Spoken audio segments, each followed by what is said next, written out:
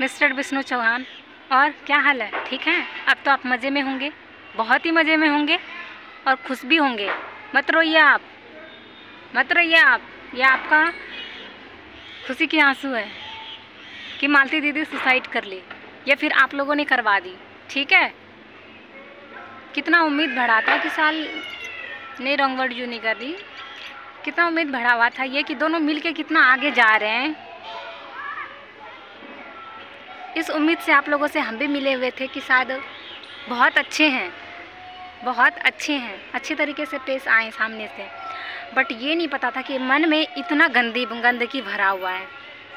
इंसान कुछ भी करता है ना तो एक परिवार ही समझ सकता है, उसको दूसरा कोई नहीं समझ सकता।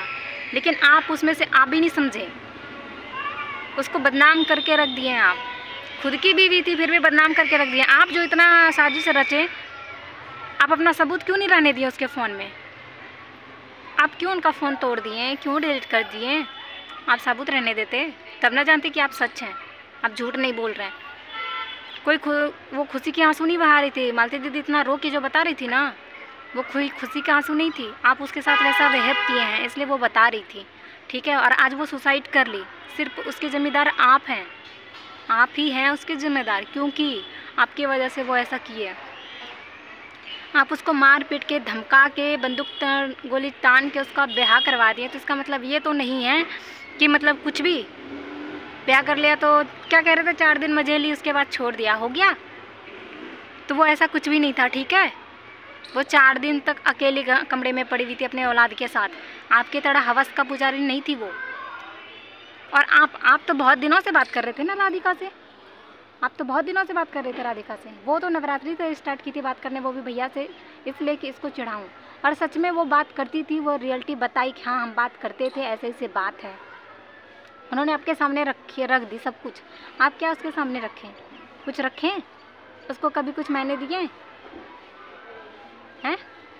और आपके वजह से आज वो सुसाइड कर ली। क्या उसको जीने का हक नहीं था?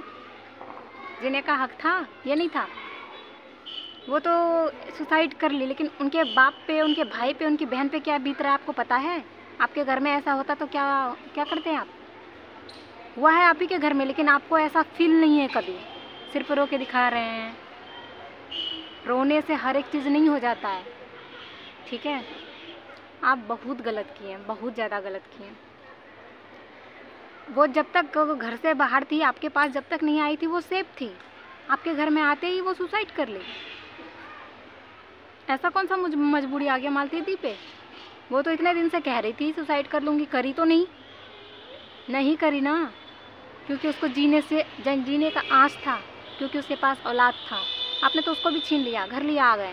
लिया आ गए, कोई बात नहीं है, बच्चे को देखना, देखभाल करना ज़रूरी है। बट जब वो आई आपके घर पे तो ऐसा क्या हो गया? जो उसको सुसाइड करना पड़ा, या फिर आप लोग मिलजुल के करवा दिए? या फिर आप लोग मिलजुल के करवा दिए उसका सुसाइड बताइए।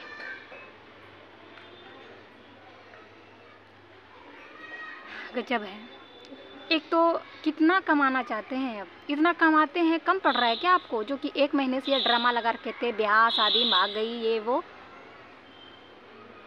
ड्रामा तो खूब अच्छे से कम, करवाए कमाने के लिए। अब कमाने के वजह से मालती की देहांत हो गई। हैं? कितने पैसे की वो पड़ी थी? अपनी बीवी को नहीं संभाला गया, दूसरे के चक्कर में। दूसरे के चक्कर में अपनी बीवी को भी छोड़ दिए, जो वो दुख में वो इतना साथ दी थी। उसके वजह से आप यहाँ तक आज पहुँचे हुए हैं। फिर भी भूल गए सारे वक्त की वो? मतलब वक्त बीतता गया और बातें भूलते गई? हैं? आज जो कुछ भी है ना आप तो मालती दी के वजह से हैं आप। ठीक, अपने खुद के बल पे नहीं हैं आप। इतना जो उछल रहे थे ना आप खुद के बल पे नहीं उछल रहे थे। मालती दी के वजह से उछल रहे थे आप। मालती दी आपको यहाँ तक लेके आई। आप खुद नहीं गए थे। मालती दी खुद यहाँ लेके आई थी। और आज उसका परिणाम क्या दिया आप? मालती दी का परिणाम इतना जो की धड़ी, क्या दिया आप? उसके सिवा मौत। गजब है यार, गजब है। पैसे के लिए कुछ भी करने के लिए तैयार है। कुछ भी। ऐसा नहीं होता है। ठीक परिवार को मिला मिल के चलना पड़ता है। अपना गलती कुछ नहीं, दूसरे का गलती गलती। थोड़ा अपने अंदर भी तो झाँक के देख लेते, हम गलत हैं या सही है। कभी झाँक लेते देख के एक बार, तब पता चलता कि कौन गलत है, कौन सही है। कुछ भी पैसे कमाने के लिए, कुछ भी करने के लिए तैयार है, हैं? जहाँ तक किसी को मरवाने तक की तैयार है।